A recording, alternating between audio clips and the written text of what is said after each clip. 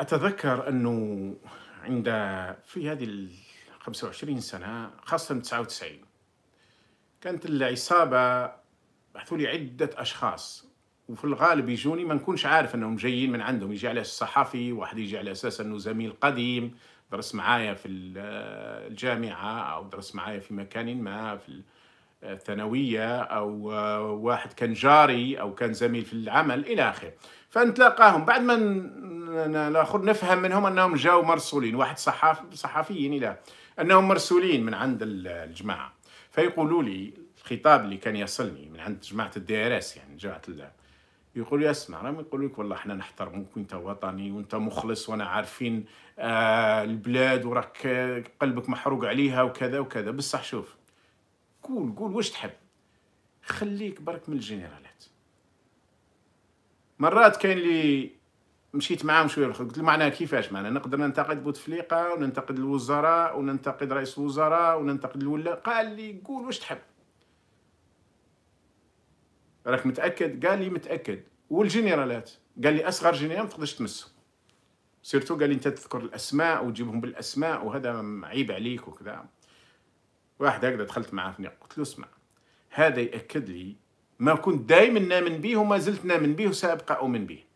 أن المدنيين راهم واجهة وأن الحكم الحقيقي الخطوط الحمراء اللي دايرينها ممكن دايرينها للجنرالات وخاصة الجنرالات النافذين.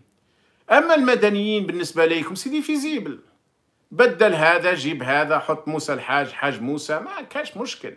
نحي هاد البرلمانيين جيب برلمانيين أخرين نحي آه جراد جيب آه فلان نحي زقماطي جيب الآخر. آه صحيح بعض المدنيين يبرزوا يبرز الإجرام نتاعهم والعماله نتاعهم إلى أقصى الحدود باش يشوفوا المعاليم وش يحوسوا فهم يروحوا إلى أقصى الحدود. لكن في النهاية قلت له هذا كلهم شاركين في مسرحية. كاين اللي عندهم أدوار رئيسية؟ مثل رئيس الحكومة ولا الوزير الأول والوزراء المهمين إلى آخره بعض السفراء بعض الولاة وكاين اللي عندهم أدوار ثانوية وكاين اللي عندهم أدوار تاع comparses وكومبارس كما يسمون المصريين figurants بعبارة فرنسوية وتهريج يخلوهم يديروا نوع من التهريج تنفيس يسموه عملية تنفيس. فبعض الناس surtout اللي ما عندهمش ربما صغار في السن ما تابعوش ما مضى ولا يسمع كلام كلام جميل كي تسمعه طيب انت كي راك تقول فيه أصلا انت وصلت للمنصب بدون حق لأن انتخابات الشعب كان يقول لا انتخابات مع العصابات. فأنت خنت الشعب ورحت الانتخابات انت عارف أن الناخب الأول هو ال DRS هي المخابرات هي المافيا العسكرية. هي الناخب الأول ومن بعد تجي التفصيلات. الأمر الثاني وش راح تبدل أنت؟ هاي راك قلت ثمو انت فقط عملية تنفيس. باش كيما هذاك ال... كون يقعدوا ينفخوا في حاجة ينفخوا فيها كيما ال... خلينا نمدوا كيكوت يعني كيكوت مينيت هذاك ال... لو كان كان عندها دائما داير لها تنفيس من الفوق. كون ما يخلوش تتنفس لو كان تب... ما يطيبش الأكل مليح وممكن تنفجر فينفسوا عليها. المرأة اللي تعود طيب أو الرجل كي يرفد على البرمة أو يرفد على النيجرة أو كيف كيف ما تسمى أحيانا ينفس شوية باش ما تنفجرش. ويكمل الطياب يتم. هؤلاء يقوموا بهذا الدور بالذات. فيه تهريج وفيه اللعب على بعض المشاعر وفيه تخفيف تنفيس. ليس أكثر. لأن شفنا اللي قبلهم وش داروا.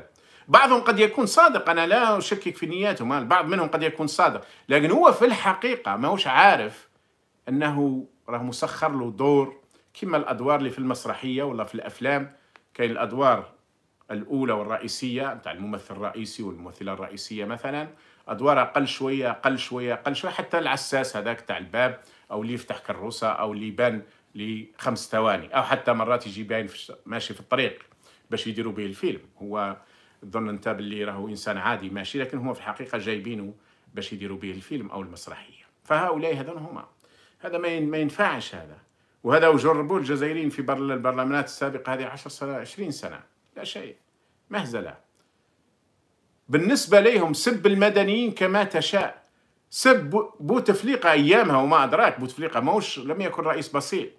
ومع ذلك لما قالوا لي قالوا لي انتقد بوتفليقة كما تحب. فقلت لهم هذا الدليل آخر على أن الحكم عسكري. وإلا المفروض أن ما فيش واحد فوق إرادة الشعب. ما فيش واحد عنده التقديس. ما فيش واحد خط أحمر. الناس كلهم ولاد تسع شهور والحاكم هو موظف هو خديم عند الشعب ما هوش فوق الشعب. والجنرالات اللي تقدسوهم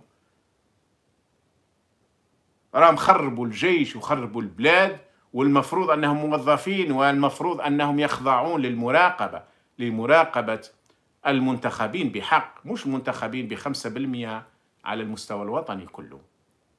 هذا مش انتخاب هذا مهزلة لكن الشعب صفعكم بها صفعة كبرى.